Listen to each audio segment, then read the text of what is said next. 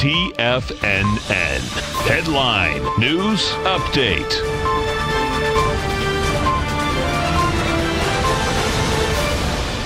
Welcome, folks. We had the Dow Industrials finish down 618, Nasdaq off 277, S&P's off uh, 75. That uh, was a, a downdraft uh, inside the Nasdaq, folks, of 3.4 percent, Inside the S&P's 2.5, and in the Dow Industrials 2.3.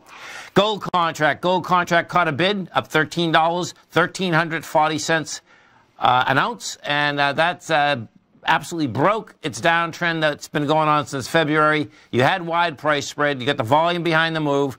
1365 is the number that it wants to go after. It's February swing high. Now, that being said, silver didn't catch a bid, which is really unusual, and that is divergence, folks. Silver traded down to 1466. That was trading into its strength. It did reject lower price, closed out at 1478. This thing uh, needs wide price spread and accelerated volume uh, in order for it to break its downtrend, which it has not done yet. Oil. Oil down 82 cents, trading at $60.84. Uh, bottom line, oil is building cause for lower price, as is copper. Copper is down five and a half pennies today, 271. It looks like 265 is game. Notes and bonds, higher price, lower yield in a big way, too. Get the 10 year note up 15 ticks, 124.14.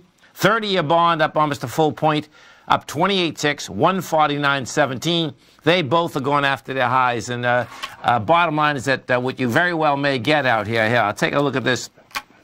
I'll put the um, 30 year up on a continuous contract, and this very well could be a monster ABC structure on the way up.